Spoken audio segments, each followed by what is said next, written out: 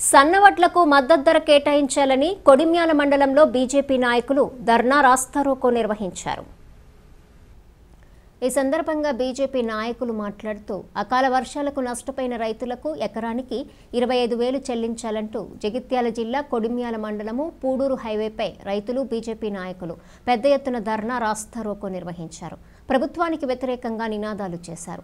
సన్నవడ్లకు ఇరవై ఐదు వందల మద్దతు ధర కేటాయించకుండా పంజాబ్ రైతులకు మద్దతు తెలిపి రాష్ట్రంలోని రైతులను ఎందుకు పట్టించుకోవటం లేదని రైతులు ప్రశ్నించారు.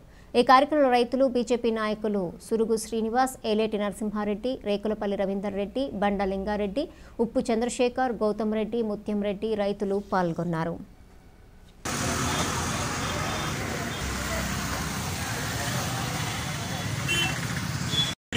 మండల భారతీయ జనతా పార్టీ ఆధ్వర్యంలో మరియు కొడిమ్యాల మండలంలో ఉన్నటువంటి అన్ని గ్రామాల రైతు రైతుల అందరి తరపున ఈరోజు కొడిమేల కొడిమ్యాల మండలంలోని పూడూరు చౌరస్తాలో ధర్నా కార్యక్రమం చే- చేయడం జరిగింది. ఈరోజు ఈ ధర్నా ఉద్దేశం ఏంటంటే మన రాష్ట్ర ముఖ్యమంత్రి వారిలో గత చేసినటువంటి పంటలో నిర్బంధ వ్యవసాయంలో భాగంగా సన్నపు వడ్లను పండించాలని పరామర్శించిన సందర్భం లేదు. నష్టపరిహారం కూడా ఇప్పటి వరకు అంచనా వేసింది లేదు. నష్టపరిహారం కూడా ఇచ్చింది లేదు.